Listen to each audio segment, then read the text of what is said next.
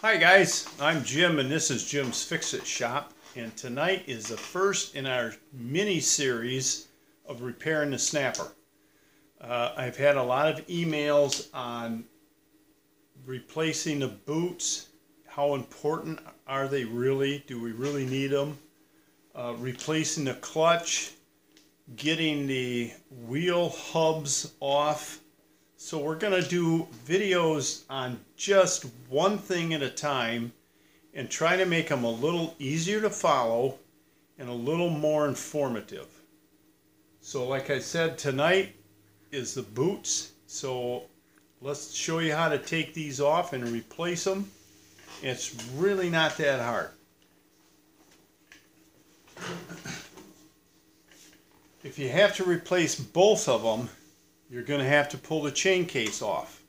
Now that sounds bad, but it's not really. Let me wiggle you up here. Vibrate you around a little bit. There, I want to get this down a little bit lower.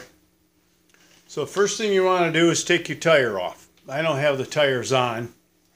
Next thing you want to do is you take this nut off of this bolt now you're going to have to tap this with probably, I use a nylon hammer so I don't hurt the threads.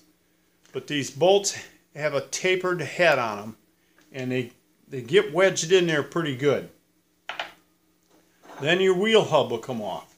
Now if yours is rusted on and it's stuck, one of the videos that will be coming up will be showing you how to get this off so you can reuse it Take your plastic dust shield off if you have one. Next thing you want to do is we're going to take take the boots loose from the chain case. These are awfully hard to get on because they're cut in half. So I, I don't really want to take both ends off. So we're going to take the other end off the chain case. Now the next thing you want to do to your chain case, if you have to change this boot. If not, all you have to deal with is this side. Let's do this side first. You got six bolts out here. Take them out. That's what holds your fender on.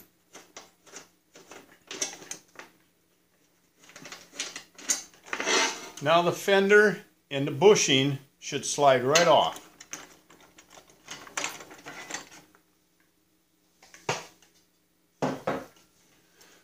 Then if you have any shims, you'll have to take them off. I had a lot of side play in this one, so I had to make a thick one to take up all the room. Next thing you have to take off is your hexagon thrust washer. That hexagon goes inside your hexagon shaft. Now, if this is the only one you got to replace, you're half done. Put the new boot on, clamp it to the chain case, put the fender on, put it back together. If you have to take the other one off, keep working. Right here is a bolt that holds the linkage onto the chain case. That's what shifts it. You want to take that nut off. Now depending if you have a two pedal or a one pedal machine, is where your cables are going to be hooked.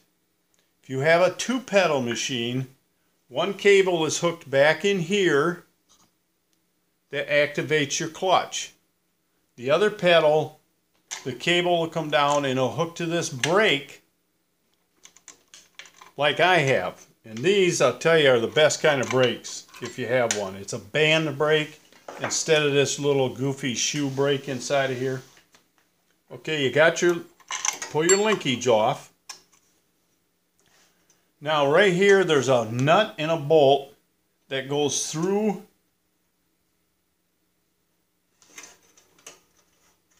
they call this a bushing uh, bearing but it's actually a, just a plastic bushing. And this goes through your uh, through your yoke. Now you can push your yoke down and get it out of the way and your chain case should slide right off. You gotta wiggle this stem out of your slot. Your chain case will come right off. Now you can take the your remaining clamp off and replace your boot. Now there's a couple different boots. I've got some old ones over here and they are greasy. You can notice there's two different styles here. now if you end up with two of these, with this one with the long end, this one typically goes on this side of your chain case. If you put it on this side, I had a viewer email me and tell me that he put new boots on my machine and after I did that, I can't shift it into fifth gear. Well, I think he's got the one on this side with the extended end and it won't let the chain case slide over far enough for him to get into fifth gear. So if that's the case, he'll have to switch them around. Now once you got your your new boot slid on the shaft, you can wiggle your chain case back on.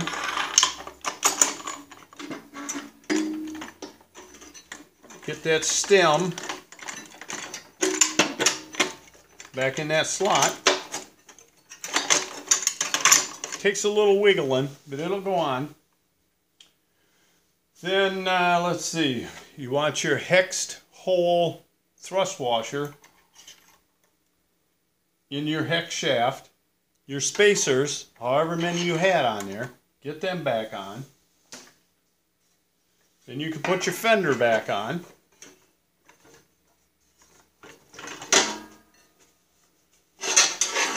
Put them six bolts back in. Now as you get these started, don't tighten one up until you get all six of them in and started. Otherwise you're going to have trouble getting the rest of them in. Then you want to stick your brake band back around your hub. Get your linkage back in there.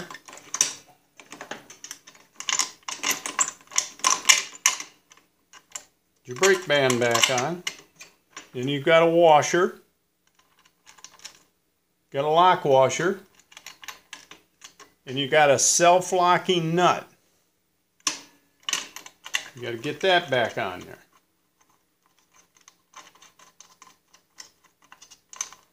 Now sometimes they'll screw on and tighten up and other times they won't. If it doesn't, You'll have to get yourself a 7 16 wrench and slip it up in on the back side next to the linkage. This stud that sticks out is hex shape for a wrench. Hold that and then you can tighten this nut up. You may need that to get the nut off. Mine comes right off because I've had this apart so many times. I don't have to worry about that. Put the bolt back through the yoke. Put your yoke bearing, yeah, not really a bearing, but that's what they call it. Put that back in. There's a large hole on this side. And put your self-locking nut back on. You'll need two wrenches to get yours on and off.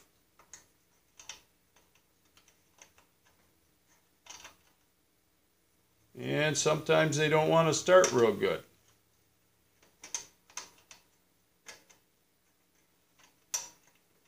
There we go.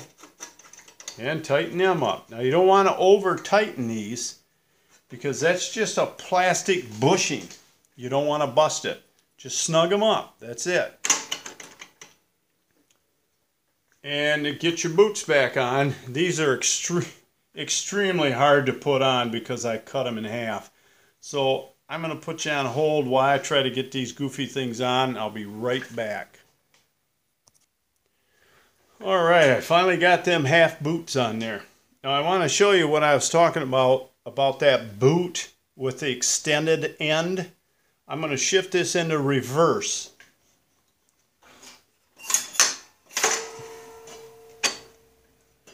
Now see how loose this is, how much room you still have for that extra end. Now I'll put it in fifth.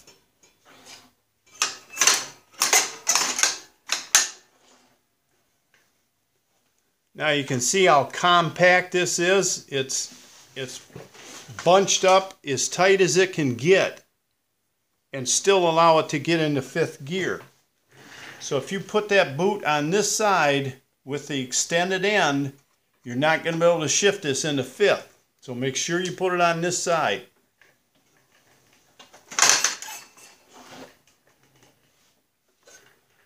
Then you can put your plastic dust cap back on. And this typically does have a hose clamp around it to keep it from coming off.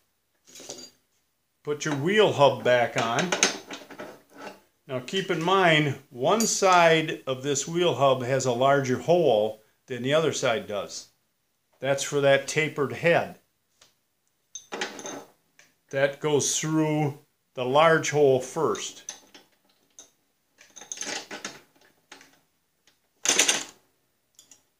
Get these things together, you just got to wiggle everything. That nut on, put your tire on, the three bolts for the tire, you're done. That side, you don't have to take tire off. You don't have to do anything to that side.